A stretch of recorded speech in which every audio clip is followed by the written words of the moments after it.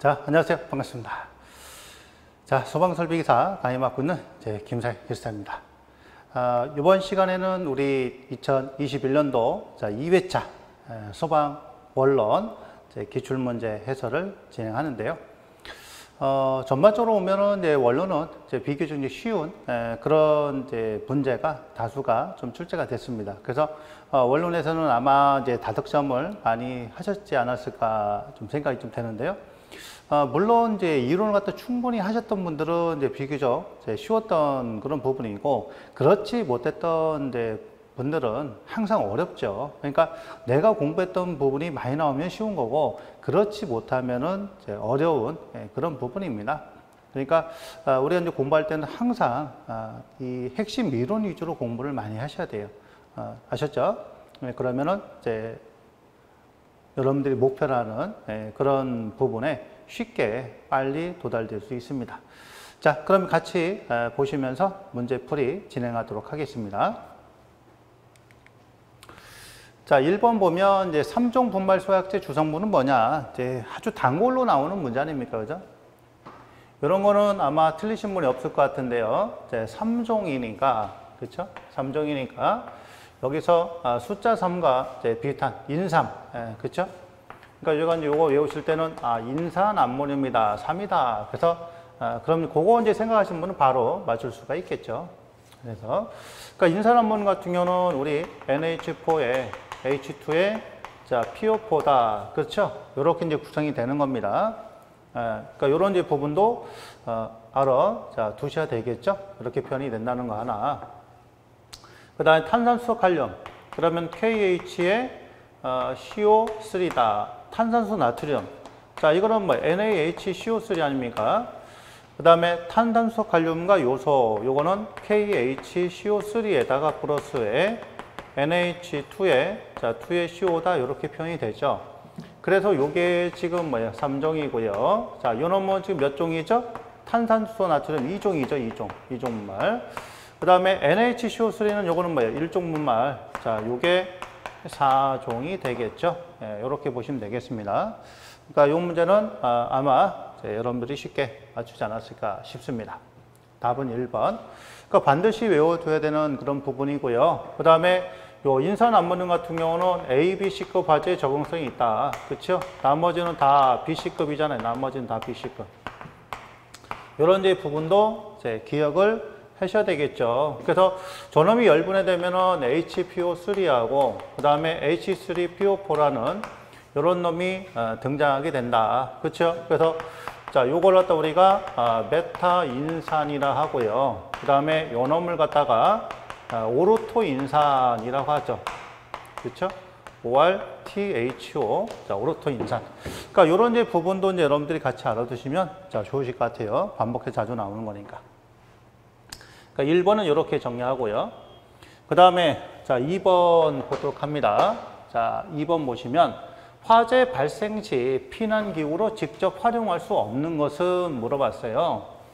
그럼 이제 우리가 어떤 부분을 갖다 알고 있어야 되냐면 자 그렇죠. 바로 피난 구조 설비에 해당이 되는 게 뭐냐 해당이 안 되는 게 뭐냐 그죠? 이렇게 보시면 되겠습니다. 자 그럼 여기서 봤을 때 완강기, 사다리, 구조대 이런 것들은 기본적으로 뭐예요? 자 요거하고 요놈하고 요거는 기본적으로 뭐예요? 자, 뭐예요? 피난 구조 설비 중에서 제 피난 기구에 해당이 되는 거 아니에요. 그죠? 그 다음에 무선통신 보조 설비는 어디 들어가요? 요거 소활동 설비에 들어가는 거잖아요. 이런 식으로 이제 구분만 하면 어, 비교적 답은 쉽게 찾아낼 수 있습니다. 그래서 답은 몇 번이에요? 자, 2번이 이렇게 자, 돼 있죠. 어, 참고로 이제 피난기구에는 완강기도 있고 사다리 구조대 외에 또 뭐가 있을까요? 자, 바로 피난용 트랩이라는 장치도 있고 그 다음에 간이 완강기도 있잖아요. 네, 그렇죠? 간이 완강기도 있고 또 뭐가 있을까요? 미끄럼대가 있겠죠? 미끄럼대. 네, 그 다음에 피난용 승강기, 피난용 승강기. 자, 그리고 다수인 피난 장비.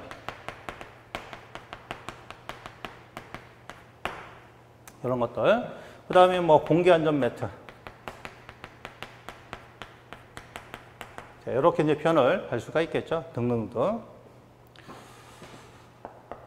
자, 그래서 어, 대략적으로 여러분들이 좀 알아두시면 좋으실 것 같아요. 이런 부분도 얼마든지 나올 수 있으니까 아, 하나 빠진 게 있네. 아, 피난교가 하나 빠졌죠.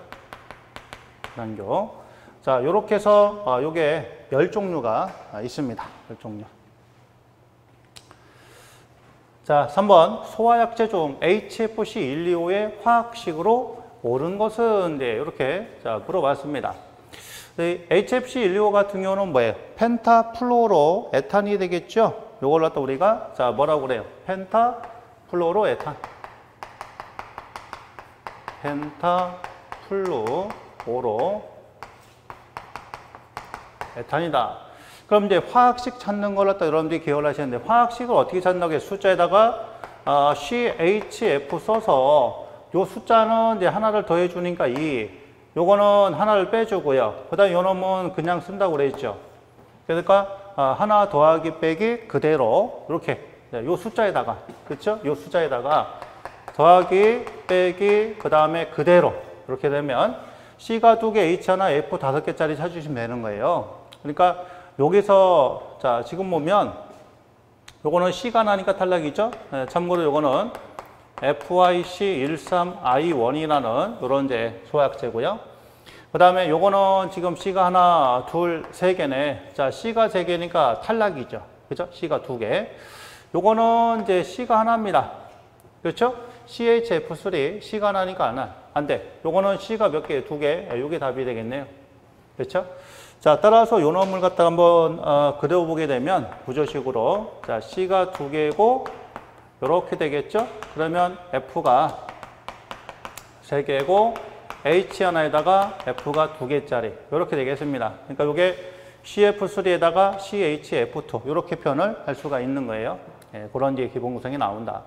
그러니까 이런 것도 어, 제가 이론에 강의하면서 어, 여러 번 말씀드린 그런 부분입니다. CHF에서 찾으면 쉽게 찾을 수 있고 그 다음에 요놈이 가지고 있는 이제 설계 농도는 설계 농도는 뭐냐? 바로 11.5%다. 자, 이렇게 잡아낼 수가 있겠죠. 예, 그런 구성이 자, 되겠습니다. 그렇죠? 그 다음에 자, 요놈은 뭐가요? 자, 보면은 C가 아, 하나, H가 하나, F는 세 개다. 그렇죠? 그러면 어, 거꾸로 역산하면은 C가 제로였고, 그 다음에 H는 두 개였고, 그렇죠? F는 세 개였다. 또 이상하잖아요. 그렇죠? 이렇게 보면. 그럼 얘는 지금 뭐예요? 자, HFC의 023이잖아. 그죠? 그래서 HFC, 자, 23이라는 이런 놈이 되겠죠. 소약제 023이니까 HFC, 자, 23이면 소약제 있잖아요. 그쵸? 예, 그런 거. 그 다음에 요것도 한번 찾아볼까요? 요거는 지금 보니까 C가, 자, C가 세 개에다가, 그쵸? H가 하나고, H가 하나고, F가 일곱 개네. F가 일곱 개. 그쵸? 그러면, 어, 숫자로 역산하면은 하나 빼주면 2. 그 다음에 요거는 원래 두 개 있었고, 그렇죠? 그러니까 요거 하나 더해서 3 나오고, 요거는 빼줘서 나온 거, 요거는 그대로 갔잖아. 그러면 2, 7이 있죠. 아하, 이러면 HFC의 27, 2A라는 놈의 화학식이 되는 거구나. 이렇게 잡아낼 수가 있습니다. 그래서 3번은 바로 요 놈에 이렇게 찾아낼 수가 있겠죠. 그러니까 이렇게 여러분도 한번 연습해 보세요. 그러면 쉽게 쉽게 찾아낼 수가 있겠습니다.